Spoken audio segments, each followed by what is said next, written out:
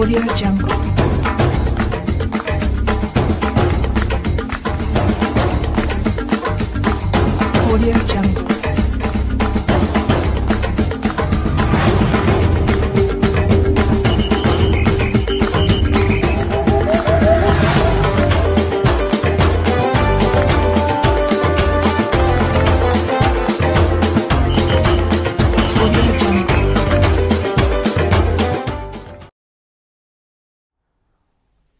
Uh, evening, guys. Welcome to Football Brownie. Hope you're well, keeping safe, keeping each other safe, and spreading a love during this pandemic.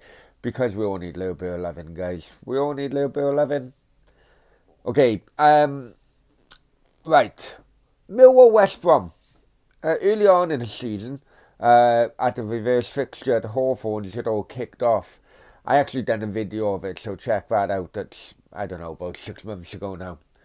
Um, and right today, today's game, um, Millwall uh, won the game two 0 but towards the end of the se- uh, at the end of the game, sorry, um, West Brom fans weren't having it and uh, started throwing flares, and even ripped up seats and threw uh, seats onto the pitch. Now, I'm not a Millwall fan.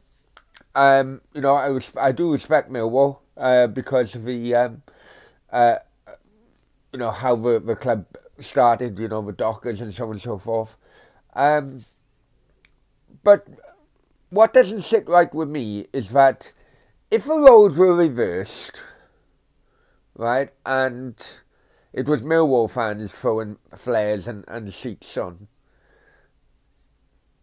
well, I'm sure the press would have made a hell of a lot more of it than what they currently are, uh, because uh, the the fans doing it this time with West Brom. I don't know. Just you guys think. You guys uh, let me know what you think. Uh, here's uh, what happened earlier on. Anyway.